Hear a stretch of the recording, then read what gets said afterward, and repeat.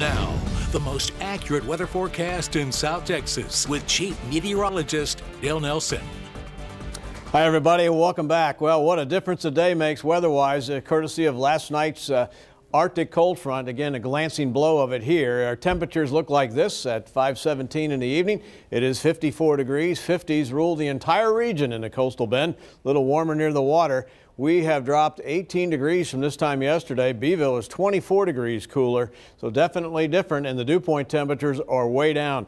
And this is the area where our temperatures would go tonight if we had clear skies and no wind like last week when we hit 33 degrees. But because the uh, winds are blowing, we won't see these dramatic drops, but the dew point temperature is down 35 degrees. So if your skin feels dry, getting a little static electricity in and around the house, this is the reason why, because the air is very dry, but it's about to moisten up a bit, and we're protected by this warmer water, the intercoastal and the uh, Gulf of Mexico there, with these winds now turning east-northeast to northeast across the region. They happen quickly because the jet stream overhead is moving very fast. The winds there are over 100 miles an hour, and that's why our weather's changing quickly, not only from day to day, but almost from uh, hour to hour. So Future Tracker shows these winds staying out of the northeast and being a little breezy overnight through 7 o'clock in the morning. So this is the reason we will not freeze in the area tonight. And northeasterly winds continue to be a little on the frisky side here tomorrow. And with cloudy skies,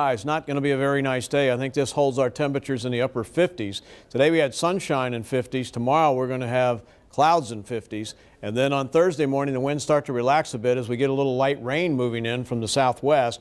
That light wind regime continues right on through noon on Friday. Short-term forecast has uh, a mix of sun and clouds through sunset that will drop into the 40s. I think this is a little aggressive on the 30s here, but uh, we do have a shot at seeing that, and I'm predicting low temperatures like this.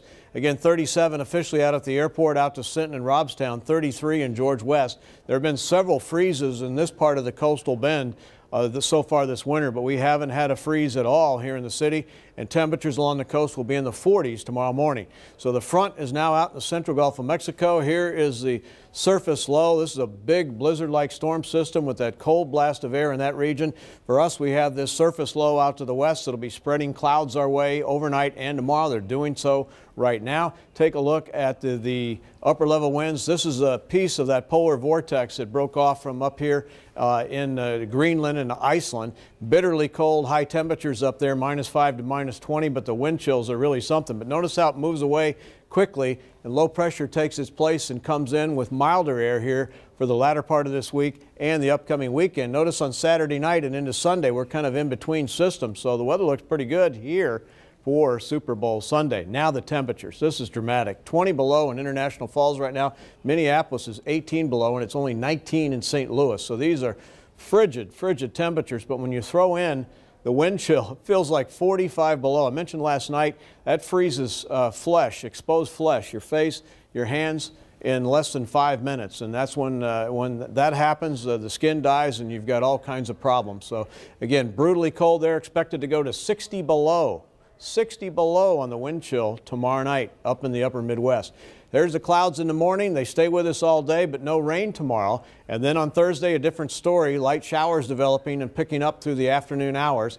And then more isolated showers here on Friday. So the wettest day of the week on your NEC Co-op Energy 7-day forecast is Thursday. Chilly and 59 tomorrow. No freeze. Scattered showers here for Thursday. Then a few showers for Friday and Saturday. We'll break out to mostly cloudy but warm and well into the 70s for Sunday, Monday, and Tuesday. There are no cold fronts, Paulo, in our seven-day forecast.